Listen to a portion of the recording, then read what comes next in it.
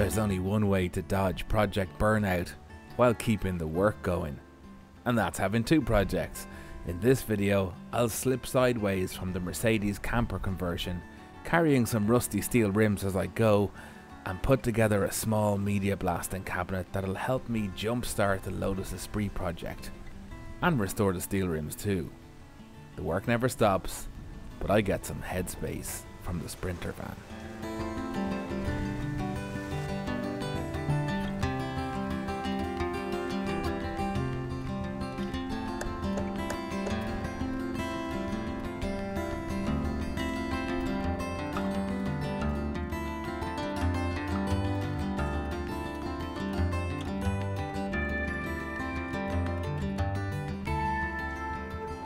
Way back when, I met a man about a hot rod project. Check out that video. He was the brains behind a retro camper business, but he had lots of other little interesting things hanging around.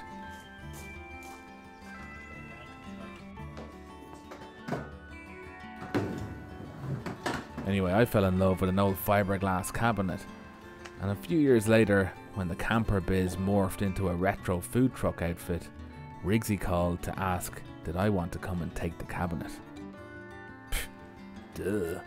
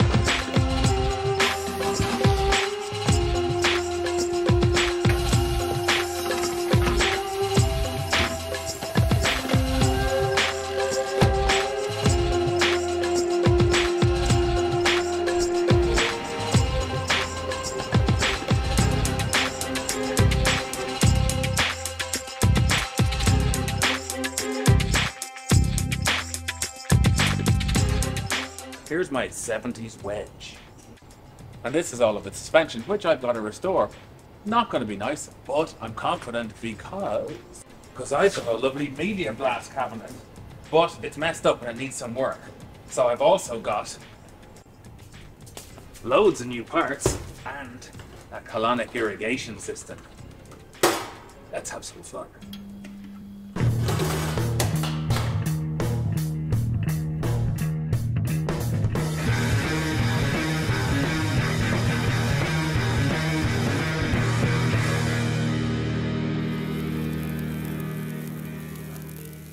Problems with the rust buster. The gloves are very ripped and beyond good use. They fill up with sand. There is no grate to put our parts on and they don't reach to the bottom, so that's an issue. There's no sealing around the outside anymore, it's perished. And there's no extraction system. So without those, all of this will end up out there. And I work above a body shop. The gun needs to be serviced and has a very broken nozzle. And somebody has cut some really big holes in the sides. So just a small list of things. Let's start with extraction.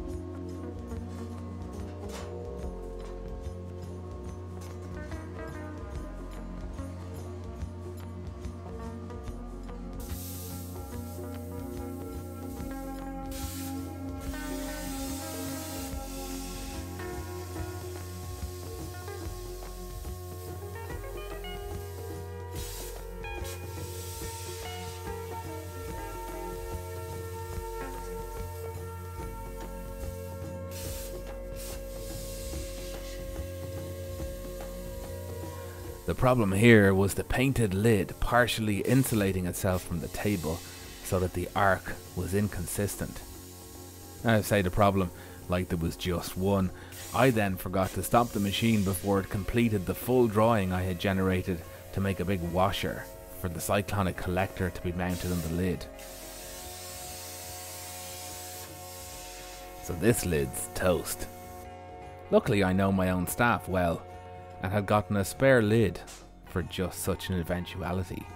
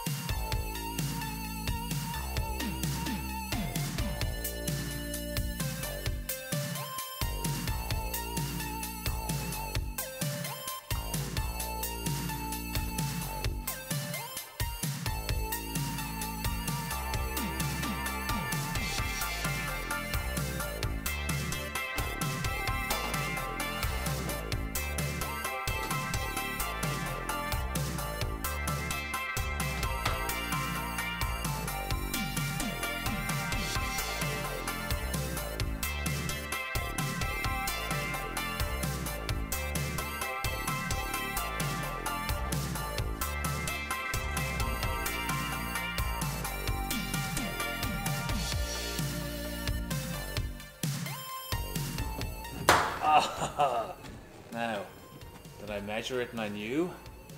Or is that luck? You'll never know. Now I just gotta get this end to talk to something.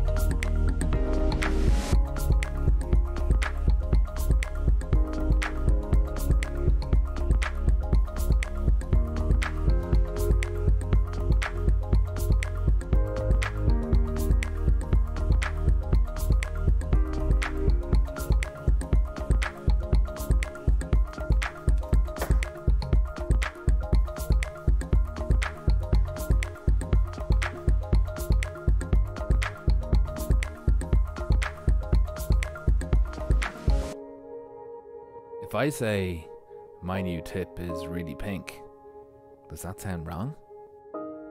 Okay, the tip was shattered, yes, but looking down the bore of it, you can see how as the media passes through the gun, it wears away the ceramic over time.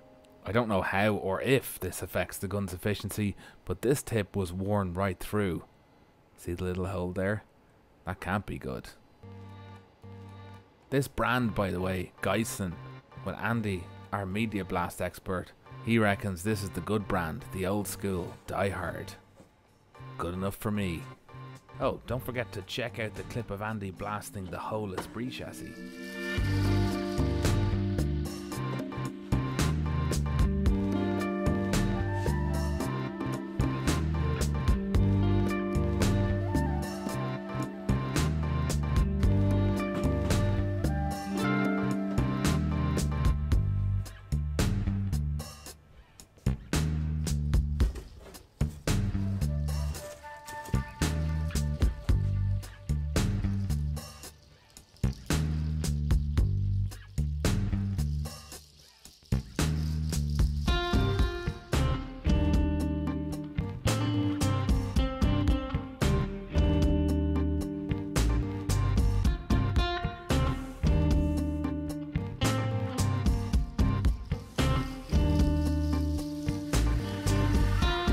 Okay, this is this is pretty anemic, but the compressor wasn't turned on. So things did get better.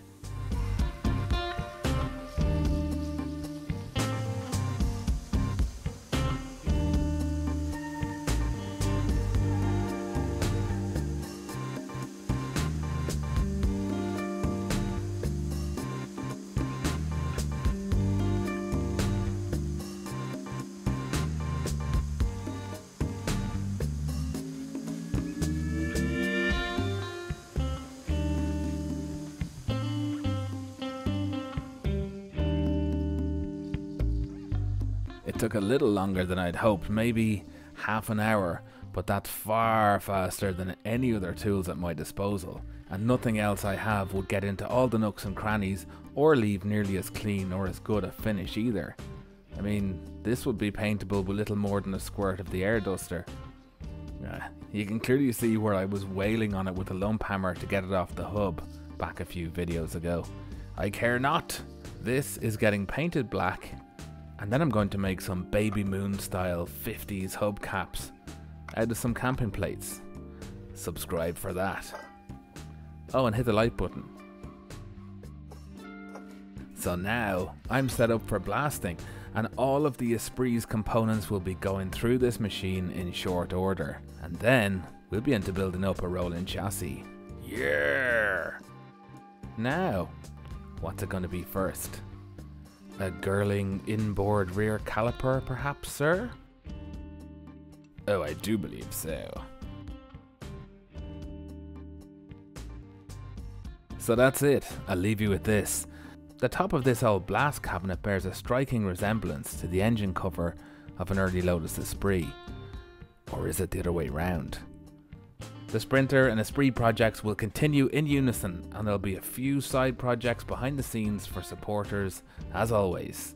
To become a patron, follow the link in the description, and thank you, David White, Filt Up North, Thomas Kenny, Charlie Zapp, Lazar Smith, ah, I want to be called Lazar, Will Simons, Stephen Griffiths, Sawel Zine, Stephen, Andreas Erlandson, and Pascal DeLove. Until I see you next, stay stuck in and good luck.